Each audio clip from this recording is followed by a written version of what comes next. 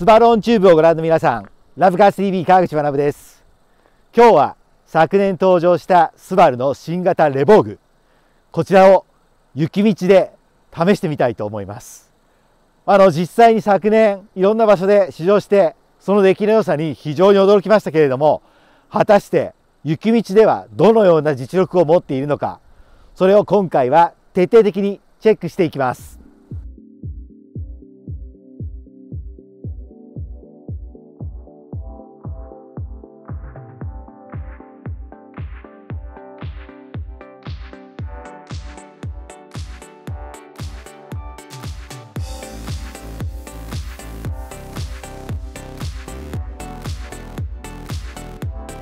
えー、今日はですね青森の八甲田の近辺に来てるんですけれども今気温はマイナス3度ということで私が立っているこの路面ももう一回雪が溶けてですね固まってもうツルツルの状態になってます。なので路面も当然凍結している部分もありますしシャーベット状のところもありますし圧雪になっている場所もありますし様々にコンディションはですね変わっていってるようなそんな状況でございます。で今回装着しているタイヤなんですけれどもこれ横浜のですねアイスガード IG60 こちらを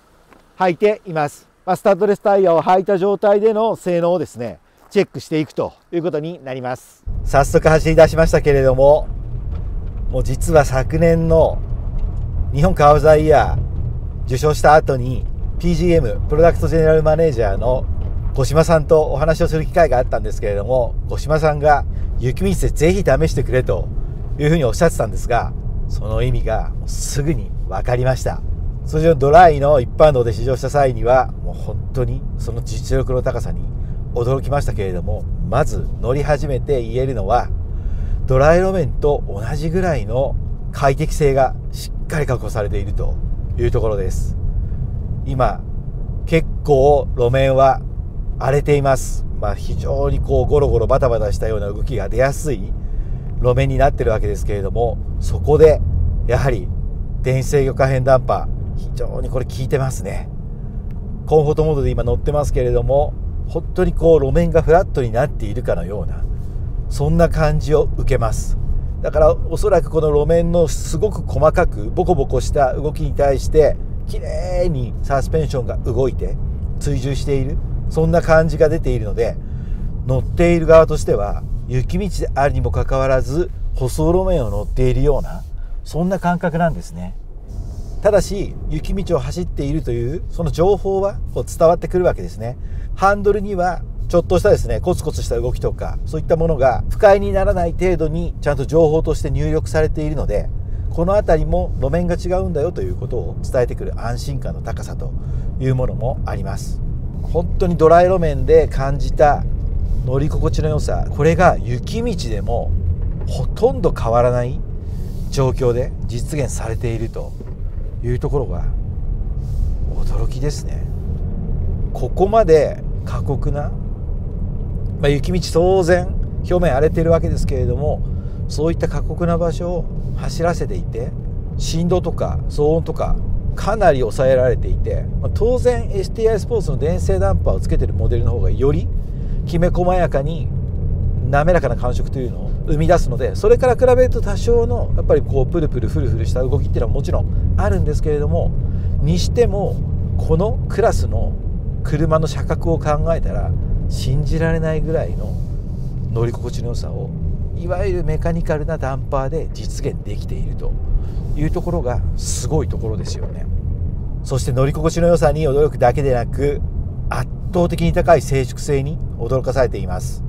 通常こういった雪道を走っている場合特に今日は気温が低くて凍ってるわけですけれども本来ならばもっとザラザラした音とかゴーッといった音が上がってくるはずなんですけれども極めて静かな室内が保たれていてこの辺りも通常の道路で乗った時に感じた静粛性の高さがそのまま生かされてるなと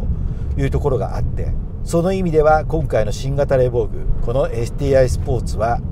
条件が過酷になっても乗り心地の良さ静粛性の高さといった快適性が全く失われないと言えるわけですね。ですのでウィンタードライブも非常に快適なものにしてくれるという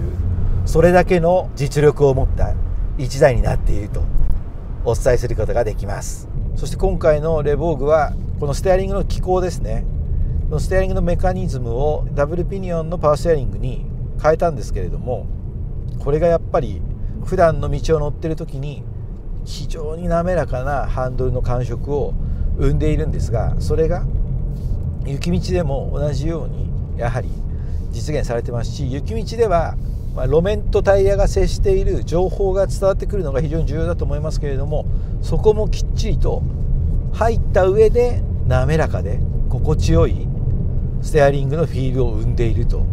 いうことを感じますのでその出来の良さというのはやっぱりこの部分にも相当現れてるなということを感じますね。まあ、STI スポーツと比べるとやはり軽やかな感覚があってそこがこの GTH の魅力かなと言えるところですね、まあ、実際に STI スポーツなんかはドライ路面で走った時にはヨーロッパの同クラスと比べても上を行ってるなと思えるぐらいの走りが実現できてたわけですけれども GTH もやはりそれだと同等以上のものが実現されているぞということを感じますしそう考えると今回のこのレーボーグというのは本当に革新した車なんだなということがよく分かりますね。やはりスバルグローバルプラットフォーム新世代のスバルのプラットフォームありますけれどもこれを採用した上にさらにフルインナーフレーム構造という新たな構造を初めて採用したモデルということにもなるわけですね。新世代プラットフォームの SGP よりさらに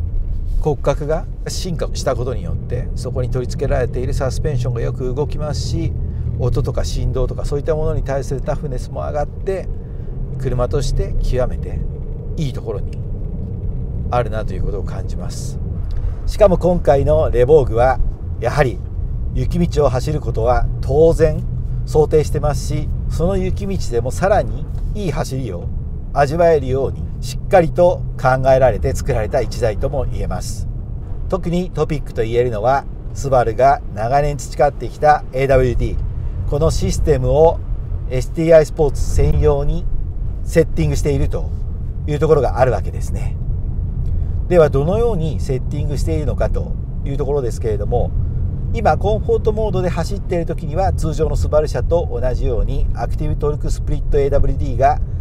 効いています。そして今回の STI スポーツドライブモードセレクトで様々なモードがありますがスポーツプラスを選ぶと AWD がスポーツというモードに切り替わるんですね。